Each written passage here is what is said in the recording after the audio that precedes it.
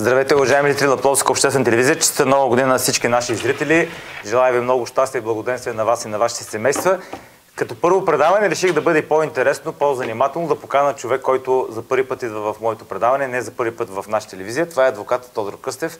Господин Къстев, здравейте, благодаря ви, че се отзовахте веднага на поканата да бъдете наш гост. Аз с вас поделих, че идеята ми беше да покана архитект Маринов и Христо Николов, тъй като те спечелиха награди от нашата телевизия, но поради състоянието на господин архитект Маринов, от това се отложи. И се, и се радвам, че бях откровен с вас и вие веднага откликнахте да бъдете а, мой първи гост в нашото предаване, тъй като много от голямо значение поне според мен как започва годината. Аз един такъв интересен човек като вас може да си говори за политика, за спорт, за Алеша, за книга. Вече издадохте и книга миналата година. Направихте промоцията при господин Евгений Тодоров.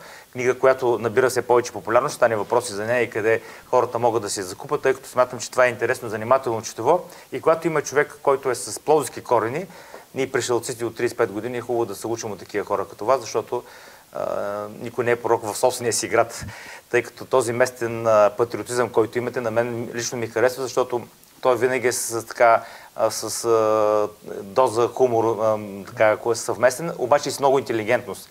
Тоест пишете много интелигентно, ще стане после и, и повод за книгата. Първо да ми кажете а, така, как прекарахте нова година, коледа, какви впечатления при вас доби тези празник, празнувайки, ние сме оказа се набори с вас, толкова години в Пловдив, направили нещо впечатление по-различно от други години? Долу година беше традиционно вкъщи с семейството. Покрай коледната елха, при телевизора, многогодишна трапеза. Нормалните неща, като всяко средностатистическо българско семейство. Но искам само да вметна нещо, че а, това да си плодивчанин е състояние на духа. Не е важно от колко години а, човек живее тук. Може да е от 5, може да е от 10, може да е от 35. Защото аз познавам така наречени кореняци плодивчани, които изпълват със съдържание понятие от кюнлия, да да приведа какво значи това. Това значи на местен диалект, значи човек, който е отвън, който ни познава местните драви, ги уважава и така нататък. Както познавам хора, които дошли вчера буквално в Плодив, но са по душа, по разбиране, по светоусещане филибилии. Затова никакво значение няма човек дали е роден тук, дали е кореняк, за да приеме този град и нещо много важно, града да го приеме при теб това се получило. Да, обаче пък ми е интересно такива хора като вас, които а, пишат такива интересни неща, защото в крайна сметка не може да ми се върнат примерно годините от началното образование, не мога да ми се върне казармата. Всичко е било, не е било и това е било извън Пловдив, въпреки че трябва да съм свързан с София по някакъв начин, но пък корените ми са от Лович. И така ли, че когато виждам местни хора като вас, които пишат по този начин които се изразяват по този начин, става ми интересно, защото аз като малък не съм празнувал коледа, примерно, по, по филибилийски. Не знам какво е, какви са ритуалите тук в, в града. И когато виждам някакви интересни неща, които вие споменавате, става по-така, по-забавно, по-интересно. Затова ви питах как сте изкарали лично вие и как по принцип получани празнуват. Аз, аз, аз както, както карам коледа нова година, така, така и го описвам. Традиционно, типично по-плодиски. Тук си има някои писани правила за празнуване на коледа и нова година, които така старите поручани ги знаят и те дори не ги знаят, интуитивно ги спазват обикновено, както съм споменавал, се залага на домашния купон, рядко си ходи по, по заведения. Напоследък добри, доби популярност ходенето по кръчми, но повечето хора залагат на домашния купон, доби популярност и празнуването на площада, където винаги градската права, независимо коя е тя, организира някакви висилби, кани някакви изпълнители и така нататък. Поличани обичат да се заболяват. Купона има в душите им. Като казахте за, за града, видях, че големите градове, по репортажите, които направиха, е било фраш наистина навсякъде, но и направи впечатление, че се опитват да имитират Качо Бойджиев с една звезда, която да е центъра на купона, както Качо на времето ги, ги канеше по 80-те и там и 90-те години, не, но 70-80. Тоест, ние за първи път видяхме звезди от класа единствено само по тези новогодишни програми, ако спомняте. И Сарагоса, Бен, и Бон, Ниеми, не знам още какви. Да, леко заляващи, но големите звезди видяхме там. Сега, да, винаги има ключова звезда топлата вода не се измисля сега. Uh-huh. Да, може би това е поведение на големия там шоумени, сценарист и продуцент Хачо Боджиев от недалечното минало. А, но а, така да маркираме нещо в интерес на местната история. А, за първи път а, празнуване на площада през а, 1999 година срещу 2000 година въведе доктор Иван Чумаков, който тогава беше тук що избран кмет на Пловдив. Това беше... Значи 90 срещу 91, нещо 99 срещу 2000. срещу 2000 година. Това беше първото официално организирано от местната власт, от, от общината, празнуване на нова година на площада. И наистина си получи много, много хубаво, защото и хората беше голяма, беше завалял сняг и така нататък и така нататък. Хората виждаха нещо ново, бяха поканени, имаше бъчо из вино, които се раздаваше безплатно вино. Очевидно доктор Чумако беше решил, че трябва да почерпи. Поне тези, които са на площада за това, че са гласували за него, няма нищо лошо, така и трябва. Припоръчвам го и на сегашния кмет. Тази практика е препоръчвана и така. Ще ви питам дали има книга за кметовете, защото те са интересни лично да. последните години. Ало, здравейте. Ей, ало. Ало. Ало. Да. В предаването съм, предполагам. Естествено, вътре в него сте. Моля? Да, да, в предаването сте. Да. А, искам да, да споделя нещо. А, аз, понеже тази тема за нареканите каули или каули, не мога да го кажа, ми е много интересна. И понеже а, много така съм имал допир с, айде няма да кажа каули, то път ще кажа с селените, по стечение на обстоятелствата в едно близко Пловдивско село си вземах а, един имот така и така нататък с семейството ми. Uh-huh. Не, живее в Пловдив, но така, да, там го ползвам като ранче или така нататък. И ние пловдивчани, да ви кажа, не знам дали го знаете и си го забелязали, сме зевзеци. И аз ли ви тази дума какво представя, какво значи зевзек? Значи, ние като се съберем да да си правим майтапи и шиги, ние до такава степен се познаваме, че един е подаде на другия, другия му го върне и е толкова интересно. Там се опитах така с някои от те кълли да се пошигувам. Те ме гледат мнително, те са помежду другото много мнителни, защото от малки са закърмени с това недоверие към, към гражданите, че ни са хубави хора и ги лъжат. И ме гледат едно мнително сега и се чудат – то сега поиска да ми каже, подиграва ли се с мене, или може да захапи и не може да включи. Това е едно. Мога ли да си позволя още някои работи да ви кажа? Ако сте по-кратък, може. Да, по-кратък. Аз поне съм много любознателен и така интересувам се от стари е, хора и така нататък какво се е случва. На един мой виж колега, детенцето му на 18 години момиченци, и го изпращат на бригада в селското стъпанство. И децата отиват там в селото, няма да го цитирам кое, вечерта, не да крадат, а да си хапнат някой черешка. И един падар, как се даваха бойни патрони, но те къндареви, не мога да разбера, с един куршум свали детето. И в съда адвоката му поставя въпроса, гледа да го измъкне. Те мирили са в детето, нали, той и да каже неволно, стрелях във въздуха и така нататък Чулията, знаете ли какво казва? Кожа съм мерала, питайте за мен, аз казармата бех подличен по стрелба и адвоката хвърля папката и казва, аз отказвам да защитавам мой доверник. Много мога да ви говоря за тях, сега мисля, че Добре, добре, благодаря ви. А, по повод това, което каза зрителя, получани обичат да бъдат завзети, обаче обичат ли да поемате на хумор? То е лесно да се шегуваш на гърба на някого, но когато с теб се шегуват, успяват ли да бъдат на нивото на, на хората, които разбират хумора? Истината, че не е особено. Не е особено. Не е особено. Плодовчани са големи майтапачи, много обичат да юркат някои, много обичат да се... Дайте да говорим с истинския жаргон, да се бъзикат с някои. Ама когато са група, когато са в много, така много, много, много, много обичат да има жертва, в добрия смисъл на думата, жертва на, на сатирата, на шегите им, на, на закачките им. Но, за съжаление, моето наблюдение са, че не носим много на хумор, когато това се отнася за нас. А трябва ли не, човек да има някаква прак на интелигентност, за да може да, да възприема хумора в обратна посока, когато е към насочи към него или какво? По принцип, по принцип чувството за хумор е признак на интелигентност, а, но предполагам, че това е някаква местно, местна особеност. А, не знам, не, не бих нарекал това не интелигентно, защото си иска достатъчно интелект да се, човек да се шегува майсторски, но си иска интелект, разбира се, да понася шегите, когато са... Ако, ако когато... поднесем по интелигентен начин. Да, по интелигентен начин, да. да. Някой път сме минали по границата. бил, зависи от градуса. Да, да, бил съм свидетел, особено по спортни мероприятия, в големи компании, когато има някакви неразрешими спорове между феновете на Ботев и Локо, там вече нещата са... Там, там дори няма този санитарен минимум от търпимост, когато трябва да се шегуваш с... А не, сме, а не че той е умишлено насъден. Трябва да има някаква връжда между двата отбора, за да може по този начин омразата не да сплотява, да разединява. За да може още от малки тези фенове да бъдат разделени и това да бъде в основата на съперничеството между това. Надали някой, надали някой си е поставил специална цел да, да разработва методики и цели схеми как да настрои ните привърженици против другите. Надали това е така. По-скоро си е някаква местна особеност. Аз си спомням и когато с времето градира. Аз си спомням на времето, аз съм израснал в Крашака, в района на Новотела си спомням, че тогава ходихме на мачовете на голямата къща на стадион Плодив, ходихме на мачовете на Ботев и на Локко, цялата махала, като половините бяхме от локомотив, половините бяха от локомотив, половините бяха потивисти. Ние ходихме заедно. Дори на стадион сядахме заедно. най- най-голямото нещо, което сме си позволявали след мачовете да, да се шугуваме, който е с тези, които са паднали. Да, да. А, нищо повече. Значи такава агресия. Това го твърда най-отговорно такава агресия, с гитки, които си нападат, с групички, които атакуват другите, с а, побоища, прибилни. Аз такова нещо до, до 90-та година, може би до 95-6-та година, не бях чувал.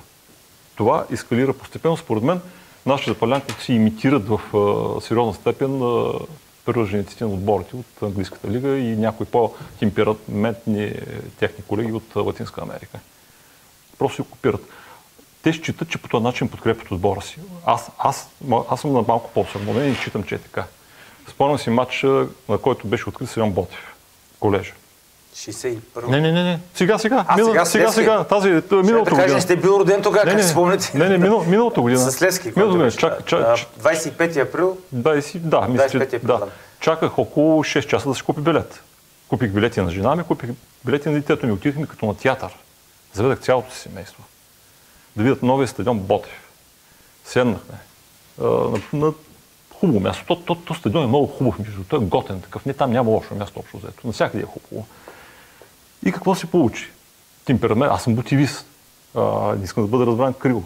Обичам привържениците на Ботев, обичам и крайните фенове на Ботев. На много, много от тях съм приятел. На, тях, на част от тях адвокат съм бил по различни дела дори. Но те хвърлиха, запалиха големите димки, с които натиснаха целият стадион, буквално не можеше да си диша. Съдята прекрати матча, защото е задължен по правилник да направи това. И при, а, а, Ботив бяха набрали инерция и се очакваше всеки момент да, да, да падне гол. Малко преди това Барон направи гридата на, на празна врата от 2 метра. Печ, както се казва на, на запалянковски език, печеше си гола. Запалиха големите факли, покриха целият стадион с, с отвратителна миризма, която всички, на всички почка да ни сълзат очите съдята прекъсна матча, разбира се, той нямаше как да си играе. След 10 минути почна матча, Ботев загубиха темпо, загубиха ритъм и Лески хвараха го и поведаха. Бяха да. изтинали на жаргон, т.е. точно така. Тяло, телата точно, вече почнаха да изтиват и затова. Точно така. Затова, затова аз винаги съм казвал, по този начин на любими отбор не се помага. Този матч можеше да свърши с победа на Ботев или поне Хикс. Ако не бяха тези факли, които предизвикаха това 10-15 минутно прекъсване на матча, с което любими отбор загуби темпо, загуби настроение, загуби а, своята свежест и Лески се възползва от това като един опитен отбор все пак. А вие като адвокат и като политик не смятате ли, че тази крайност се въведе в момента, в който агитите почнаха да се използват от политици? Вие казвате за добронамереност. Кога по това време, когато вие сте се връщали заедно от мачове без значение на Ботев, на Локото, на Марица, на Спартак и така нататък, е имало използване на фенове за политически цели? А сега в момента, в който почнаха да използват, това е мое мнение, не знам, ще ми е интересна вашата гледна точка, защото вие как сте били адвокат значи, на някой от тях. Да, факт е, че агитките се използват за политически цели. Това е факт. Горчив, печален факт, изключително лоша, неприятна практика. А, агитките нямат свои политически предпочитания, това съм се уверил. Имал съм безбой разговори с тартори, тартори подтартори и така нататък и така нататък. Те нямат свои политически предпочитания. Тя ги заребяват по друг начин. Тя ги заребяват с помощ за любимия отбор ще направим това, ще отпустим някаква дотация, ще направим тази трибуна, ще направим тази козирка, ще вършим стадиона и така нататък и така нататък. Това за психологията на средностатистическия запалянко е нещо много сериозно. И той е готов, готов да, да се отблагодари по начин, по който те искат от него да се отблагодари. Но това някъде почна да се експлуатира, а гидките като е, с политическа цел почна да се експлуатира някъде, може би, е, след 2009 година. До тогава смея да твърда, такива практики нямаше. Или, или, или са били много, в много свит формат, който няма добавена стойност към, към резултатите на ни избори. Просто няма, няма как да повлияят. Не, използват ги, когато има и напрежение да се използват да бъдат на първата линия. Видяхте срещу БФС. Много недоволни хора има. Тук на вашия стол преди 2-3 месеца стоеше Делин Баялцелиев. Може би го знаете, един от известните бивши съдии, инструктор към, на времето към европейските централи и така нататък. Той каза, аз бях там мирно и тихо, ако не... И в един момент, в който дойде един кордон от хора, ние се дръпнахме като шпали. Това бяха една шпиц команда, всичките естествено знаете как, с, какви, с какво облекло и те се дадоха напрежението. Тоест, тази шпиц команда е от някъде беше продиктувана по минути, по време, по абсолютно всичко. Как намират, да къде намират да определени политически кръгове, определени политически кръгове намират начин да мотивират а, футболните фенове на е, по-радикалните ядра, намират начин, за, за да постигнат чрез тях някакви, някакви политически цели. Сега, аз да го кажа ли това? Всичко може да кажеш тук. Това е телевизия без цензура. Няма цензура в нашата. Аз лично смятам, че това, което стана на матч с а, Унгария, нали? С Унгария беше. 2 на 2, който завърши. 2 на 2, да, да, 2, дебюта на Илян Илиев. Аз смятам, че нещата бяха по-дълбоки. Като а, чернотото или като организация? Не, не, не, не. не. Нещата бяха по-дълбоки. Идеята беше не да се провокират това, което стана, за да бъде свален Боби, Боби Михайлов. Това беше една от задачите, но това беше малката задача. Според мен голямата задача беше да падне правителството. Добре, да има от едната страна зад, зад едните стои Дилян Певски, за другите стои Бойко, Бойко Борисов, за новите и за старите. Аз не знам кой стои. Дилян Аз... Стои зад Боби Михайлов. Значи вие сте единствения в България, който не знае, зад, зад Стилян и за Бербатов стои Бойко. Според мен, според мен шегувам си. Според мен Боби, Боби Михайлов вече умръзва на абсолютно всички. И си чудят как да се отърват. И на самия себе си, може би. и си чудят как да се отърват от него. По най-илигатен начин. Само, че тези 15 години които му позволиха да стои на върха на българския футбол, му позволиха той да си, казвам на жаргонен език, да си окупае. И той да си окупае по такъв начин, че няма махане. Той държи целият инструментариум, целият апарат инструментариум да стои председател на Българския футболен съюз до когато поиска. Те не могат да го махнат по, по законен начин. Колкото е абсурдно да звучи това. Той ако иска този конгрес, който сега е насрочен напротив, ще си го спечели без никакви проблеми. Защото, защото за... има добра опозиция. Градев вече на, тръгва много напред. Мербатов като че ли изпуска малко леко Ако паната. иска, пак ще го кажа, ето тук работ... а, говорим в ефир. Ако иска, Поби Михайлов има възможност този конгрес без проблем да си го спечели. Защото ти много добре знаеш какъв е, какви са правилата при гласуване. Колко имат по един глас Ботев, Лески, да, всички има, да, това е вече как, пък другата как, Както и скрита сила, сила, сила мъдриво. Вашия любим отбор, да, да кажем. Моят любим отбор, скрита сила, сила мъдриво и, и, и те имат право на един глас. А, а, а, а Боби Михайлов и апарат, който там контролира, именно имат огромно влияние върху тези малко клубове. Понеже сме на тема Боби Михайлов, аз не знаех, че разговор ще тръгне на там. Само два въпроса. Защо изборът на председател на Български футболен съюз трябва да бъде политическа тема? Това първо и второто, което е точно когато видя, че става дебело, не почне тогава на правилни ходове. Върна се а, Димов от Кьон, който беше на а, статистика, дори на национална отбор на Германия. А, входа с Гонзо Крив ляв е нов ход. А, започна да се обръща внимание повече на, на едни програми, които се очаква едни милиони от УЕФА, които те първа разбраха, че не могат всичко да откраднат, почна да, да ги, да ги въдворяват лека по лека. Тоест почна едни входови, в които в един момент за трети път вече се сменя председател на Студийска комисия чужденец. След унгарец сега дойде Барборан. Барболон испанец. Да, да. И така нататък. Тоест, не почне ли сега той, освен че се окупава в това, което вие казахте, освен че стана член към една от комисиите към, Европейска, към Европейската федерация по футбол ЕФА, той почна лека полека да прави едни правилни ходове, които може да ги направи отдавна. Значи, тези правилни ходи той ги прави, той ги прави с една единствена цел. Значи, пак ще го повторя. Боби Михайлов няма никакво намерение да се оттегля. Абсолютно никакво намерение. Нещо повече. УЕФА на чието ръководство той е член, е изцяло зад него. Те ни разбират причините, по които Боби Михайлов трябва да бъде оттеглен. Нещо повече, няма достатъчно голяма критична маса, която да му иска оставката. За да се вземе една такава оставка, това е една автономна организация, в която държавата няма право да се меси. Това значи, сдружение. Значи, а, ако, ако, ако Боби Михайлов отиде в Европа, в УЕФА и представи доказателства, че държавата грубо се е намеси в работа на Българския футболен съюз, български национални отбор ще бъдат изхвърлени за 10 години от, от всички видови форуми, в които трябва да се участва. А той къде ще да. бъде, ако да. го направи това? Той, той самия къде ще отиде? Тоест, тоест няма, държавата няма никакъв инструментариум, никакъв потенциал да, да, да регулира този процес. Абсолютно никакъв. А да разберем ли от вас, че това е ситуация с Тунгцванг? Всеки ход от двете страни е погрешен, няма ход просто, никой няма полезен ход. Истина, не, в някакъв степен е така истина, че Боб Михайлов няма сериозна опозиция. Цялото ми уважение към Бербатов, Силян Петров и Мартин Петров и компания, цялото ми уважение, големи, добри и доказани футболисти, европейски футболисти, те не са на това ниво, което могат да... А Градев и Лъчо Танев? Те са малко по-така... Лъчо Танев, ако не беше тази снимка, която излезе наяви и почна да го компрометира, смятам, че имаше големи шансове. Обаче да. тази снимка леко Градев я изкара те, те, наяве. Те за всеки, който, който може да бъде някаква конкуренция, ще изкарат нещо подобно. Ама изкара е опозицията, да. защото Градев нали беше да, да, да, да, да. лице, да ни кажа друга дума. И, и, това, и това е големият проблем, че тази опозиция не е обединена. Те, те, те са орел раки штука. Да. Сега, а, плюс това, Бербатов, пак, пак ще кажа, голям футболист. Той може би е след Стоичков в топ листите на най-популярните и най-наложените в света и Европа български футболисти. Но това момче е с семпли интелектуални възможности. Как си го представяш ти, как си го представяш ти като като, като председател, като шеф на Българския футболен съюз. Ми той Михал ще ни изглежда като... малко по-друго впечатление има от вашето. Еми, моето е такова. Михал ще ни изглежда като, академик, като академик от БАН. По-избирателен, да. но, но хич не ми се изглежда семпъл. Особено пък съм правил с Стилян Петров едно интервю на скоро. Стилян Петров е друго, друго нещо. Е, да, ма те са заедно. Те са заедно. Стилян, Сега Стилян, Мартин по-мога да се че е по-така врачанска Стилян Петров и нива на тях в интелектуално отношение. Нива на тях. Не знам на какво се дължи. Трябва да му погледна биографията, трябва да видя нещо го чули. Това, което преживя. А, и където, където живя. Където, това, което преживя и където живя. Еми, Бирбатов не, не е живял на по-малко Ама престижни Аз това смятам, че Бирбатов изобщо не е за подценяване. Аз го подценявам. Аз, аз го подценявам. Аз въобще не го подценявам, но не го виждам. Като не, това не, не е мой председател на. Добре. Сега да се върнем на филибийските особености на коледа нова година. Споменавате ви, аз и преди ефир споменах пред вас, че вашия фейсбук профил е цял извор на, на знание и на познание за коледните банкети едно време, които са били да. в, в Плодив. Какво беше да имаш коледен банкет, да получиш 13 заплата, да събереш екипа, колектива и сега защо ги няма тези коледни банкети?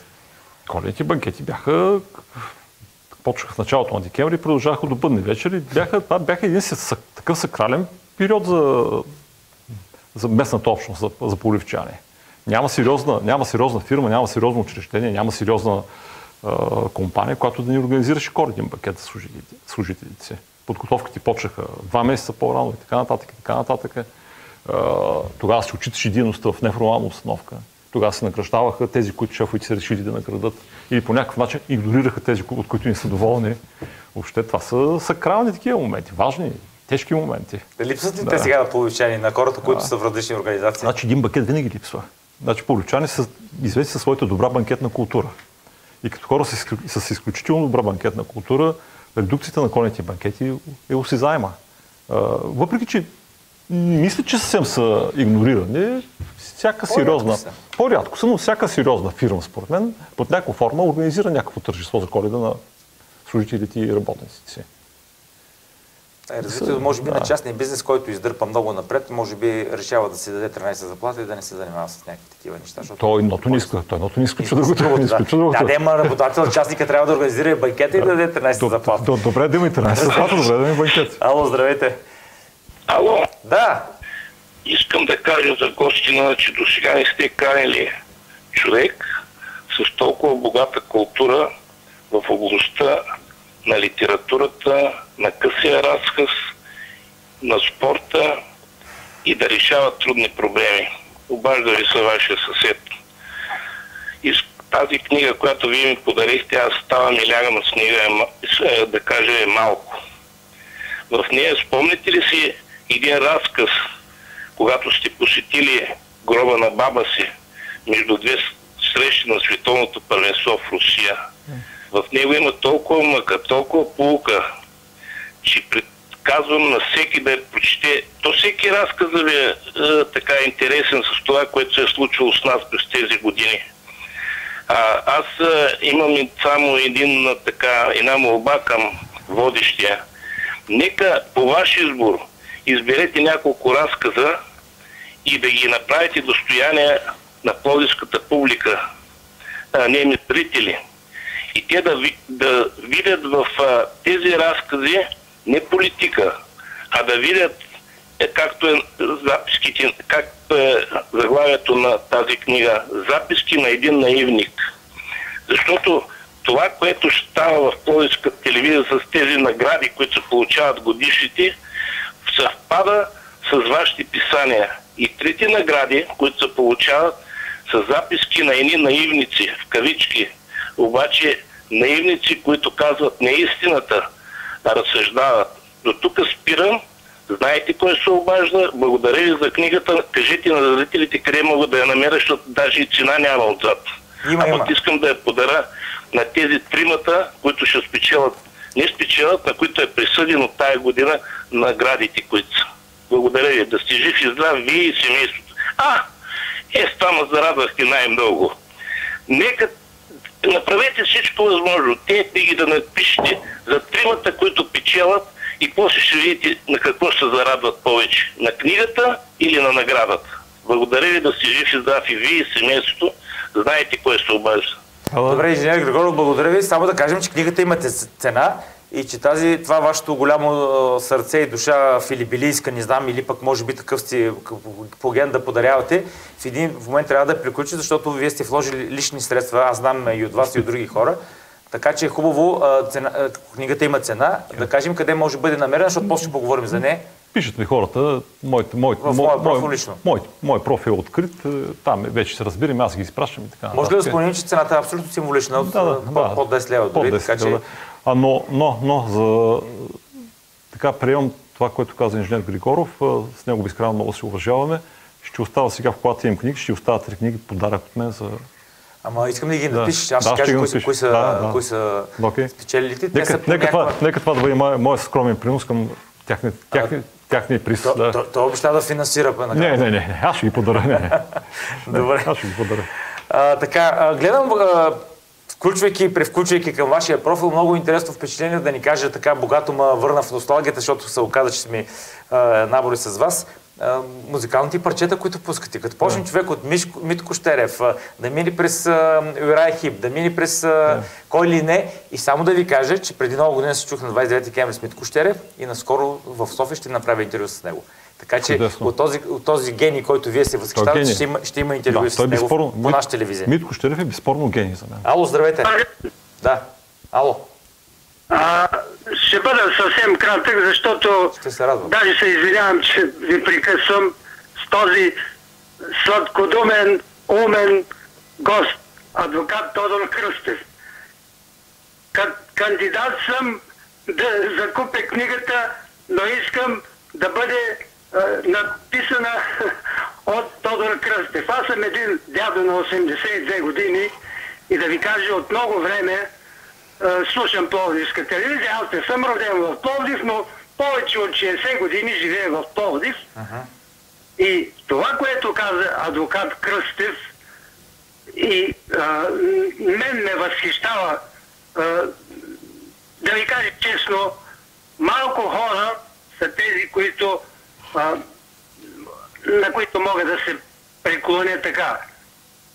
Благодаря ви за всичко, което казвате адвокат Кръстев. Напишете една книга, една, Взимайте. една книга за дядо Славейко. С дядо Славейко. Благодаря. Добре. Хубаво дядо Славейко ще бъде надписана, ще бъде оставена тук при Евгений Тодоров и вие ще намерите начин да се свържете с Евгений или пък ще видим по какъв начин да ви бъде изпратена, за да може да, а, да получите тази а, книга. Откъде тая носталгия по тия шедьоври на музиката, включвайки Юрая Хип, там през Лайн Ричи, мисля, че видях. Аз, аз, обожавам, Щерев. аз обожавам музиката, винаги съм слушал музика, аз до ден днешен си приспивам с музика. Когато си легна вечер, а, си пускам някаква тиха, обикновено шаде или някакви а, рок балади с музика. Дори си приспивам с музика. Обичам някаква, някаква особеност на личността. Обичам страшно много, обичам музика. Бил съм на абсолютно всички концерти, които са били в Пловдив. Металика, когато идваха. 99-та година. Да, а, а, да. 90 или, или 2000, не, 99 когато, 99-та бях. когато, когато, когато бяхме съпътваща столица на културата. Да, да. 99-та Металика, на Тото Котуньо, на, на, на Смоки, на всички, които си гастролирали тук, аз съм присъствал от, независимо кога, в кой период е било. Да ви кажа защо да. воерсък на музикалния ви вкус. Защото когато тази книга, сигурен съм, а, няма да ви е последна, защото интереса към вас, а, аз знам и от други места, виждам и сега и, и в предаването, въпреки едно предаване може да бъде мирил, а, избрани песни, могат да бъдат включени в един диск. Да, и човек, не? да, да, и, и, и, да се види, че един богат човек като, като перо може да, да, да слуша такава музика, която за съжаление в днешно време вече няма. Плюс това искам дебело да подчертая, че хубавата музика е хубава музика. Тя, аз не, не деля музиката на жанрове.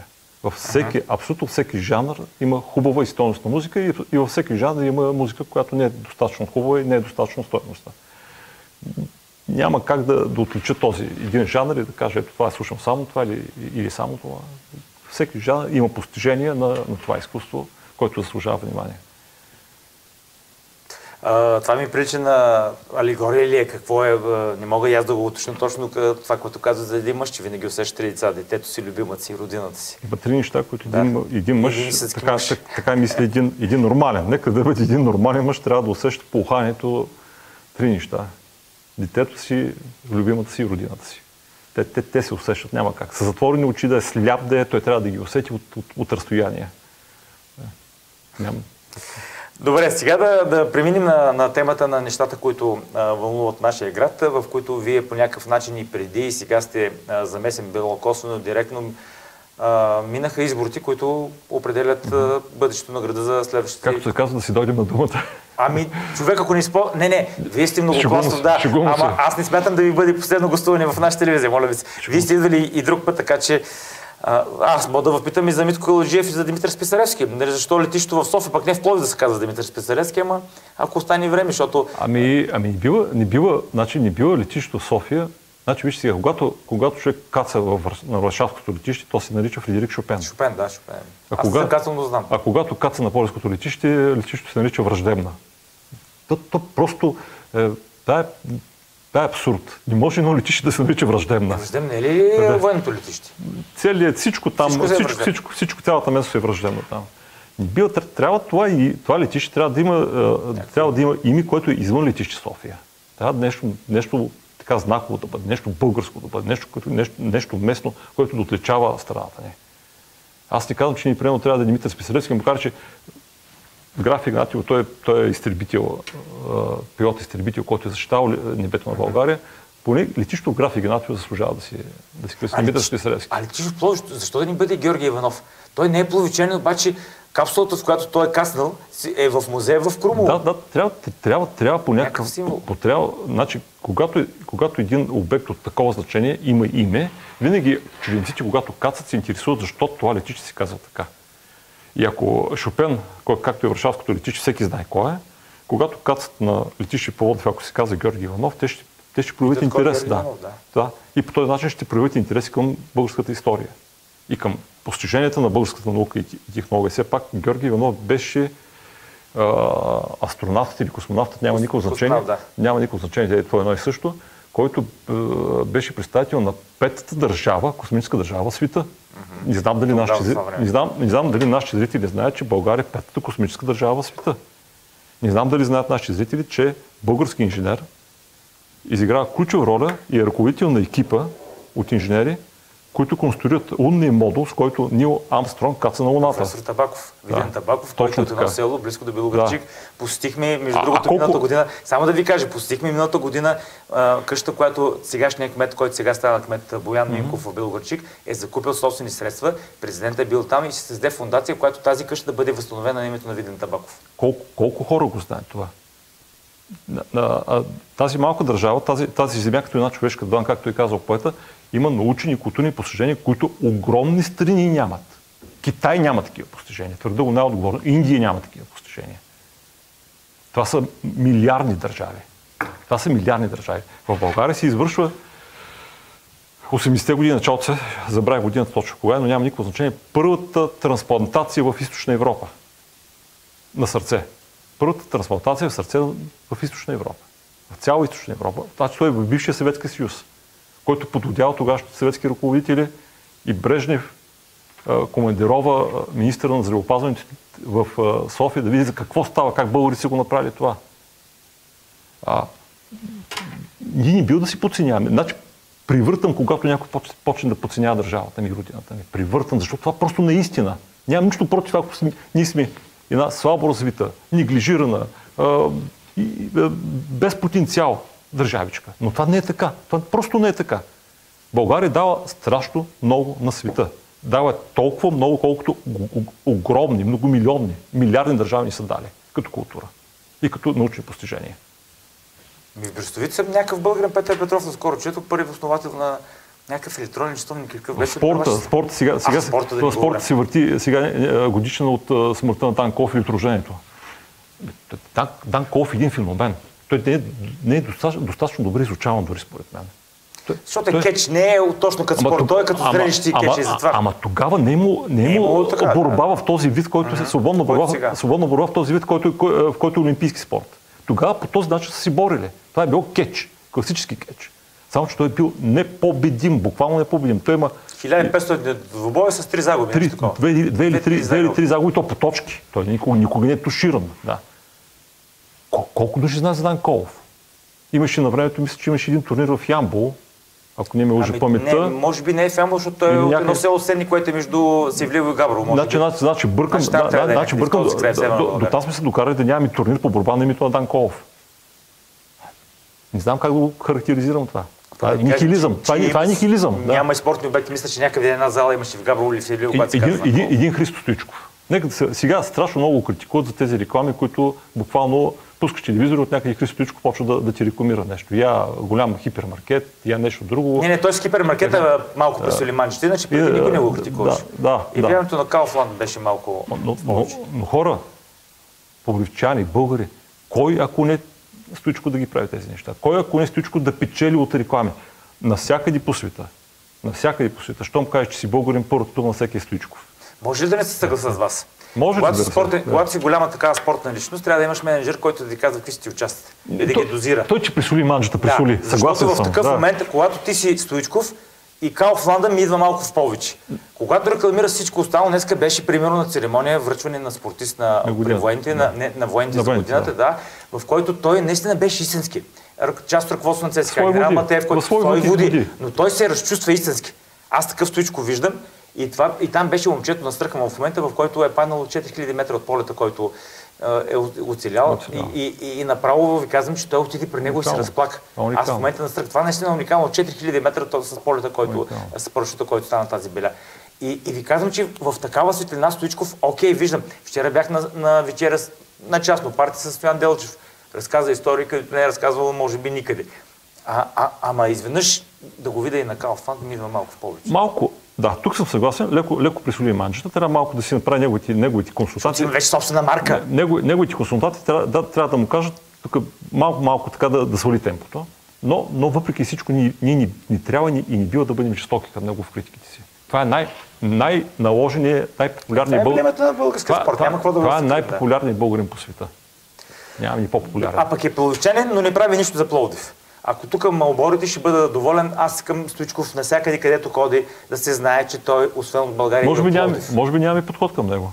Може би е, управлението Кой на трябва да има, нали? Градската управа. Градската управа винаги е добра били отношения. Дори гледам днес с котството, еми, като бившите съветски ръководители се разцелуваха, така че би трябвало да... Окей, но трябва да седнат с кмета Костадин Димитров. Трябва да седнат нещо, което е, е, е трябвало да направят изпрените кметове, да седнат и да видят по какъв начин съветниците и хората, които, които са в екипа на кмета, трябва, трябва да намерят формула, по която да приобщат Христо Сичков към Половев. И предполагам, че да. тази формула няма да е формулата на Айнштайн, ще е някаква по-елементарна формула. Естествено, ще е по-елементарна. Той, той трябва да популяризира града, нищо повече. А ние от него отвътре и той да потърси по обратна връзка, да каже хора, аз това ще съм българин, съм тръгнал от Плодив. Не, той го казва. Той го казва в интерес. Той го казва в интерес истината, обаче, според мен, трябва по някакъв начин да се направи цялостна концепция, как да бъде използван Стоичко за популяризирането на града ни. А, а това не е негова работа.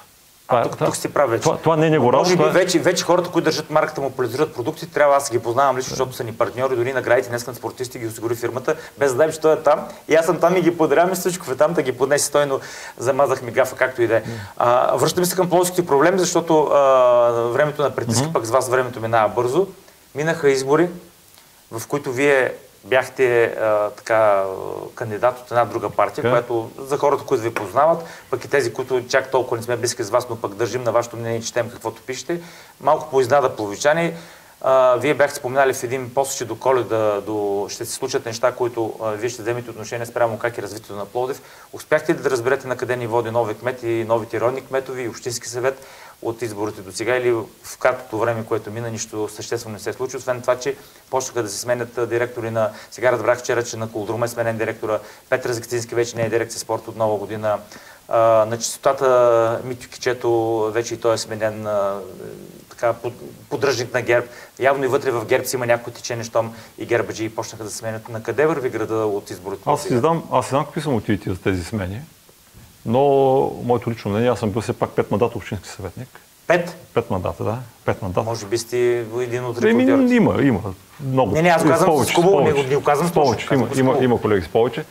А, мисля, че с тези смени на ключови представители от местната общинската економика трябва да си пипа малко по-внимателно. Не знам какви са мотивите, не е моя работа и да, и да, и да, и да рова, и да правя квалификации, но според мен да остава един лек привкус, че си правят смени заради самите смяни. Тоест прави се чистка, не се гледа прави, на да, прави, прави смени заради самите смяни, а това не било да е така според мен. Това е моето частно скромно мнение.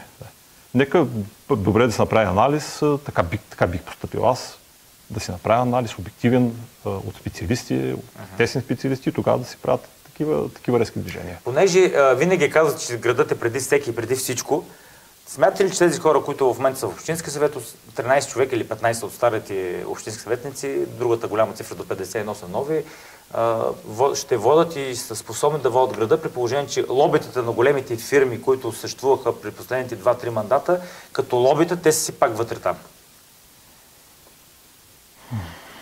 Има една мисъл на един голям политолог, който твърди, че бизнеса и политиката са като олиото и водата. Не бива да се смесват. За огромно съжаление в Пловдив ги смесихме и той ги смесихме много здраво. И то не от тези последните избори, от няколко мандата назад. И това никога не води до добро, до добри решения в града, защото винаги приоритетно е личен интерес. Винаги приоритетен е бизнес интерес, и винаги приоритетен е личен интерес. Това е просто аксиома. Друго мнение по тази тема няма. А, в нашия местни законодателен орган мисля, че прекалено много са лобитата на, на бизнеса. Прекалено много. А, отделна тема е, отделна тема и огромна тема е защо бизнесът реши да има такова голямо участие в местната власт и въобще във властта. А... Може би да са по-близко до, до поръчките, до обществените поръчки. Аз друго не виждам. За каквото примерно трябва да бъдат там. Значи, когато един бизнес иска да черпи своите дивиденти само от а, общински, от държавния бюджет, а, така това е леко смущаващо, да ни каже някой по-силна дума. А, не може един бизнес да вижда своите решения и своя просперитет само черпейки дивиденти от местната економика или от държавната економика. Това, това, си, има, това си има и свое, свое име. Това се нарича олигархия. Uh-huh. Когато има приплитане между бизнес и политика сериозни мащаби и когато добавената стоеност и бизнес развитието на съответния полити... бизнес субект зависи изцяло от държавата, това се нарича олигархични отношения. То няма то няма друга дума. Няма друго понятие. А, при нас ги има тези неща. Намери ли обяснение въпроса какво случи между двата тура, че Съединени за Пловдив подкрепиха ГЕРБ открито, така безрезервно, заговори са под сурдинка, че е имало някакви така сблъсъци, да го наречем най-меко казано, с Браво Пловдив, Съединени за Пловдив са потърсили позицията и подкрепата на господин Борисов, който е казал да, ще ви подкрепа, ако излезете с ясна позиция, ще подкрепяте ГЕРБ или това са от са... народен фолклор? Това са, аз не знам как, как стоят нещата. Аз съм присъствал на тези разговори, чуйни разговори, между, учени разговори между господин Борисов и факторите, факторите от Съединение за Плотва е имало някакви, uh-huh. за, за, да се реализира тази подкрепа. Но кой какви ангажименти е, е поемал и, кой, кой, кой, трябва да импровизирам. Им, имам своите догадки, но няма да е честно при положение, че не разполагам с информация от първа ръка да ги, да ги изнасям в ефира. А добре, справедливи ли бяха резултати на базата на а, и вие, и ние в нашата телевизия, и много социолози говорят за ниската избирателна активност, че получане все повече се свръщават, а това помага на статуквото и на тези лобите, които говорим. Да ни говорим пък, че влезе един нов бизнес играч в лицето на Браво Пловдив. А, справедливи ли са резултати на къде ще не... Знаете ли откъде са основни електорален масив на Браво? От махалите? От една конкретна махала. От 90% от гласовете им са от Столипиново. От Столипиново, да. Някакси, а, а, знаете ли кога почна кампанията на Право Пловдив? два месеца преди изборите, дори по-малко, месец и половина преди изборите. Значи, Ема, те... там е събиране на тарторите от едни хора. Значи, значи, значи аз, не, аз, аз не казвам това добре ли, или е, а, дали е лошо или е добре. Аз само казвам, че те са гении. За мен а, лидерите на Браво Пори, за мен са гении, когато казвам без никакви, никакви иронии оговорки. За месец и половина ти да убедиш 90% от жителите на Столипино да ти подкрепят, за мен това си равносилна гениалност. Мен ще е интересно Веско Костов, ако гостува, той гостуваше няколко пъти при Евгений. Аз така държа контакти с него, защото все пак телевизията водещи си при положение, че сме на добро начала, може да каним всеки, който искаме, нали, без да се съобразяваме дори с, по някой път с Евгений, защото все пак тези теми са интересни на нашите зрители да се дискутират и по други предавания. Той как ще вижда резултати? Беше на, така, на, аз, на негова екскурзия. Аз бях добър познат с баща му, с инженер Димитър Костов. Имам книгите му, подарък ми се от него и така нататък малко нещо приятел дали бяхме. Ходихме си на гости, пихме си кафето заедно, обядвали сме заедно и така нататък. И така нататък.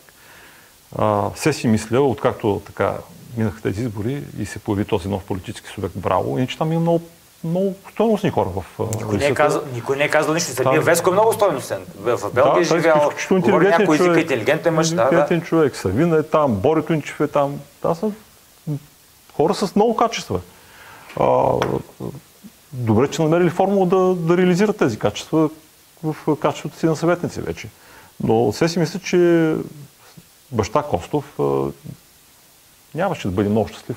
От това, което се случи. От това, което се случи, да. А добре, а един друг прочит на нещата... той, беше, той беше друг тип човек. А, господин Кръстов... Да, морал, чест, достоинство, при него ни бяха празни думи. Един друг прочит да. на нещата. Не влезе никой от партията на Руси Чернев. Мой колега, приятел, близък, първият човек подал на ръка преди повече от 30 години в Марица. При тази кампания, при тези билбордове не влезе изобщо, дори в Общински съвет. А за кмета ясно, че беше няма да стане. Атанас Бойджев, който е чест гост в нашата телевизия, много гледаем. Много популярен. И много популярен. Също нищо не направих. Той припозна левицата да може да бъде вписан. Руси Чернев препозна хората, които са собственици. Тоест, той се опита да, да се отдели от тях от собственици mm-hmm. на Марица, но хората така или иначе го приписваха така, към него. Дали е така или не, самия Руси Чернев а, а, знае. Защо тези хора не можаха да вкарат гражданската инициатива на, на протеста, както беше Бояджиев и други хора, да ги вкарат реално в областта, където е общински съвет? И, и, и, двамата, и двамата страшно популярни и хората с много качества. Mm-hmm. Изключително интелигентни хора. Руси, например, пише разкошно. Колегата също е така не случайно в нашата гилдия. А, те правят една фундаментална грешка. Те бъркат фенове с гласоподаватели. И двамата са изключително популярни, изключително харесвани, те имат фенове.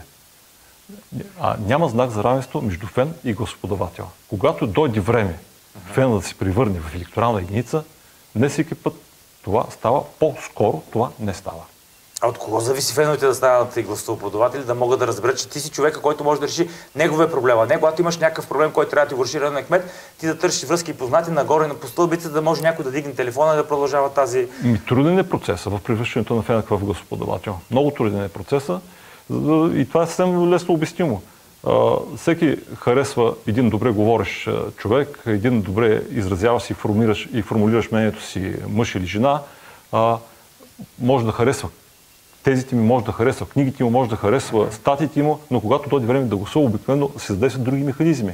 Родово, класови, съседски, финансово, материални и така нататък и така нататък. Това затова казвам, че е много дълъг, сложен и труден процес на превръщането на фена в господавател. Да, вие като да. говорите за финансови интереси, Руси има 425 застъпника. Ами те тези застъпници, които сте имали отговорността по трима човека да докарат, те и това не са направили. Точно така. Ало, здравейте. Имали отговорността по трима човека да докарат, те и това не са направили. Здравейте, господа. Здравейте. Много ме драго така, като виждам на екрана господин Кръстев и вас, господин Симеонов, тъй като ме умръзна от предавания, които не казват нищо. Поне във вашето предаване се опитвате да казвате нещо. И това може да го кажете спокойно на господин Тодоров. Че хората затварят телевизорите и минават на други програми, когато няма такива изпълнения по телевизора. А господин Кръстев, как виждате една идея да се увеличат гласоподавателите в Плодив?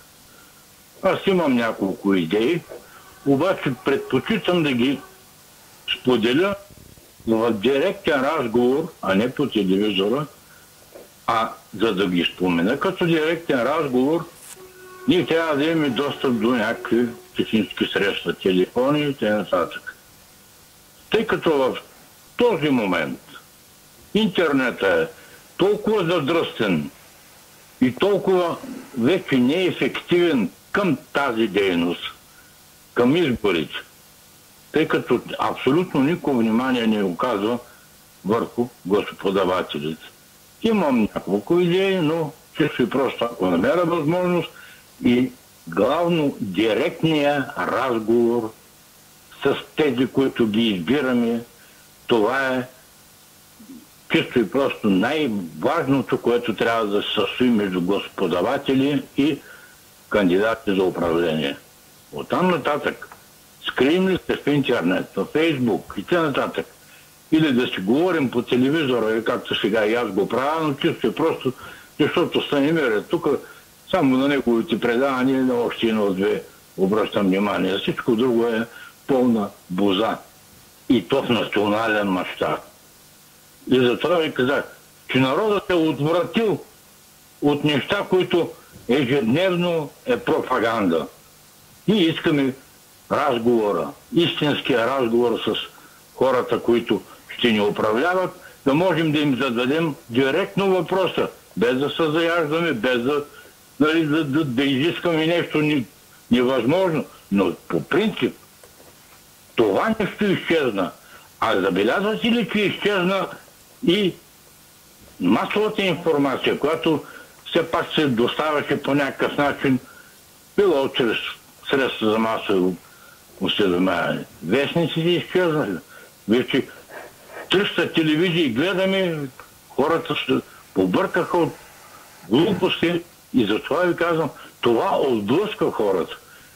Така че трябва да възвърнем нещото чрез директния контакт с хората. Ако съм прав, коментирайте, ако не, благодаря.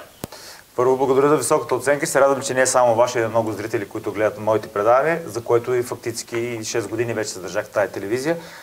Много интересни неща. Едва ли ще ни остане време, обаче ако може накратко все пак да уважим нашия зрител. Обратната, обратната връзка, зрителите е абсолютно прав. Обратната връзка между политиците и гласоподавателите, направо, тя е скъсана, няма е. Тя не съществува. А, затова е толкова ниска избирателната активност. На тези, избори, на тези месеци избори гласуваха 25% от имащите право на глас по Това е под санитарния минимум. Аз дори си мисля, че а, нещата оперите до националната сигурност според мен трябва да се инициират някакви законодателни промени, които да, Задължат. да постановят по-скоро на първо време, че ако, ако няма поне 50% избирателна активност, и избори не трябва да се считат за легитимни, трябва да се анулират.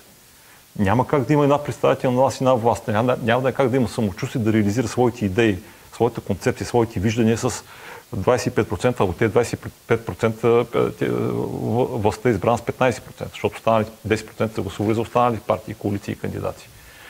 А, това е просто нонсенс, това е, това, е, това е абсурдно. Трябва да има някакви законодателни промени. Трябва този народ да се научи да гласува. Най, най, най-ненавиждам репликата няма за кого. Винаги има за кого. Ама винаги има за кого да си гласува. Нещо повече. Толкова пъти си повтаря, че купени, корпоративния, контролирания вод, нагласения вод, ще изчезне автоматично, ако има висока избирателна активност. Ние сами уважаеми поливчани, правим така, че да ни управляват хора с купен, корпоративен, нагласен и режисиран вод.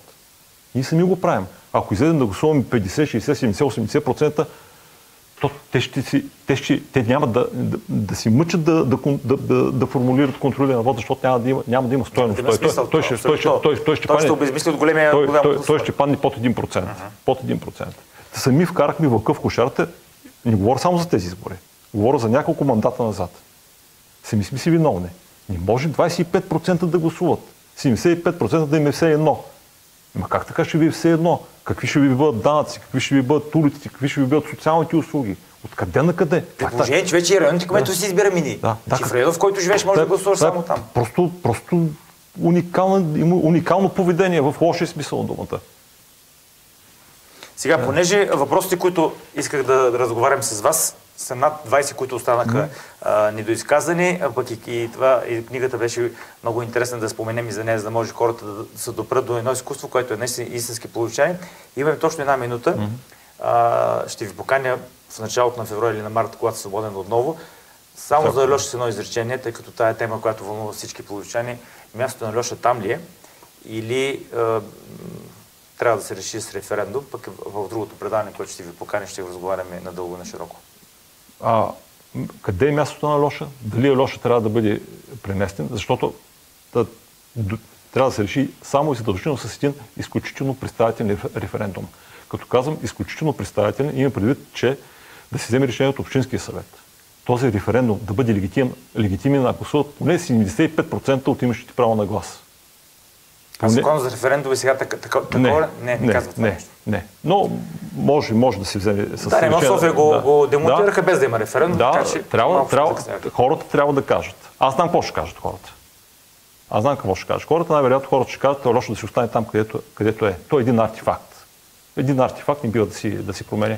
А, този всеки- артефакт ще загуби ли стоеност, ако бъде на друго място и пак си бъде артефакт? Защо трябва място да бъде артефакт? Нали? Самия паметник е артефакт, а не самото място. Напълно съм съгласен. Напълно съм съгласен. То дори така трябва да бъде формулиран референдума. А, не да бъде махната Лоша в никакъв случай. Да бъде преместен. Да бъде преместен. Да. Да. бъде ли преместен на Лоша някъде, да, да, да речем перфектно място е около братската могила. Но, но да бъде преместен в абсолютно цялата монолитност, в която съществува в момента. Нека там да, бъде, ако трябва най-отгоре да го сложат там на, на братствата. Няма, няма как, но там има, в, пар, в Примерно, парка, да. да. парка има предостатъчно място. Да бъде, да бъде, така трябва да бъде формулиран референдума. Да бъде преместен или да остане, Да остане на, там. на място, където е. И, и, трябва, и трябва задължително да има голяма представителност. Поне 75% от хората в Пловдив трябва да си кажат мнението по, по въпроса. Аз не искам да... Да се влия- решава пак от 25%. Не, не, не, това. Добре, а добре, ако другите 75 не са заинтересовани, защо трябва моят глас да, да, се, да се обесценява за това, че комшията или, или другия не е искал да гласува? Аз каква вина имам за това? Не, нямате вина, но, но все пак представителна демокрация така работи. Така трябва. Така работи представителната А, демокрация. Страхотно много ви благодаря. Беше ми изключително интересно. Един час мина като 5 минути. Ще прочета с голям интерес книгата и се надявам в началото или в началото на февруари или на март да бъдете отново наш гост. Най-голямо удоволствие. Благодаря ви изключително. Благодаря. Това беше от нас, уважаеми зрители. С вас се видим отново в понеделник.